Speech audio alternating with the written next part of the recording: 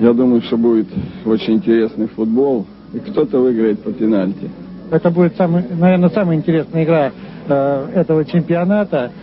И думаю, что будет забито от трех до пяти голов. Ну, я думаю, что «Спартак» должен победить вообще-то. Какой счет примерно? Ну, я думаю, где-то в районе 2-0. Вы привезли приз самый главный? Приз э, по-прежнему находится у команды «Алания».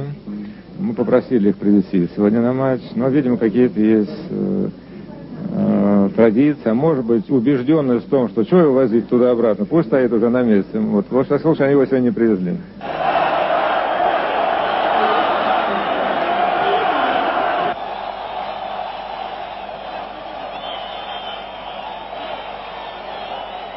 Итак, стадион Петровский. Считанные минуты до начала золотого матча. И грянул бой. А, какой это был матч. Если бы у меня была возможность, я наградил бы всех участников этой встречи за мужество, за высокий класс игры, за верность футболу. Обе команды играли в высочайшем темпе. Пауз практически не было. Спартак наступал широким фронтом, часто используя длинные передачи, переводя мяч с фланга на фланг. Алания старалась атаковать, передавая мяч коротким и средним пасом. Москвичи в первом тайме имели небольшое преимущество, но работы было у обоих вратарей. Вот смотрите, как атакует Алания. Чуть раньше мы видели, как атакует Спартак. На 27-й минуте стадион Петровский взревел от восторга. Спартаку удалась великолепная комбинация. Цимбаларь, Коновалов, Цимбаларь. И мяч в сетке ворот. Первый гол в этом решающем матче. Алания бросается на наступление. И Тадеев едва не посылает мяч в сетку. Из пустых ворот мяч выбивает защитник Ананта концовка первого тайма за «Спартаком». Москвичи имеют две хороших возможности для взятия ворот.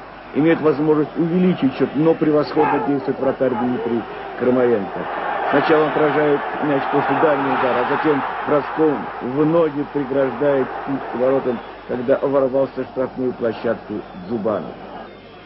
После перерыва ситуация изменилась. Теперь игра идет в основном у ворот Филимонова. И уже спартаковский вратарь показывает высокое мастерство. Его товарищи всячески помогают. Причем не только обороняет. Спартак остро контратакует.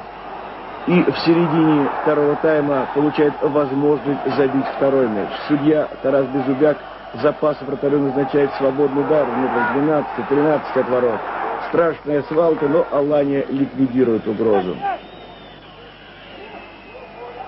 Владикавказцы отчаянно штурмуют ворота москвичей. Канищев, Сулейманов их партнеры терзают ворота Спартака. И кажется, вот-вот счет сравняется. Но за 10 минут до конца матча Спартак забивает второй мяч. Неожиданный удар с острого угла наносит Андрей Тихонов. Мяч проскакивает под вратарем, попадает в штангу и оказывается в сетке. Вот еще раз смотрим этот неожиданный удар. Кажется, все. Победа Спартаку обеспечена, но не тут-то было. Алания не складывает оружие. Вся команда бросается к чужим воротам, и Анатолий Каничев отыгрывает один мяч на 86-й минуте. Вот этот эпизод. Удар метров с 10 мяч попадает кого-то из спартаковцев, меняет направление и оказывается в сетке. 2-1. Еще через минуту упускает возможность отличиться Назим Сулейманов. Счет не меняется. 2-1. Спартак омоложенный, обновленный, но не меняющий свое лицо, одерживает труднейшую победу и становится чемпионом России. Вот так реагировали Ярцев и Романцев на концовку матча. Поздравляя команду с великолепным достижением, хочется поздравить ее верных поклонников. Около 10 тысяч болельщиков «Спартака», приехавших в Санкт-Петербург, холод, в дождь, при сильном ветре, поддерживая своих любимцев все 90 минут.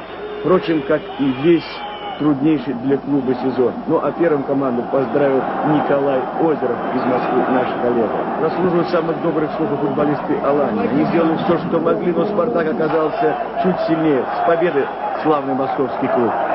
И все-таки Спартак. Спартак чемпион. Это был труднейший поединок. Вот они руководители. Вот они люди, которые воспитали новый Спартак. Спартак завтрашнего дня. Георгий Александрович, для вас это первая победа. Какое достоинство нынешней команды?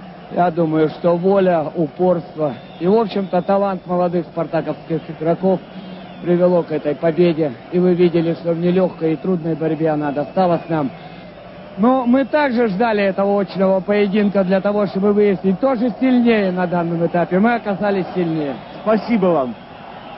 Олег Иванович, трудные дни всегда чередуются с яркими победами, светлыми днями.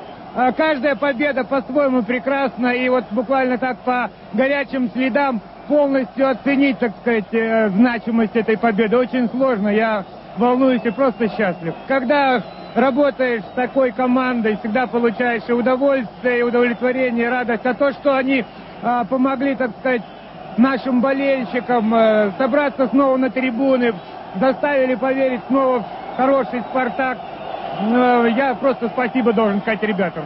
Олег Иванович, посмотрите, это радость. Это людская радость. Ради Спасибо этого вам. мы живем и работаем. Я очень счастлив.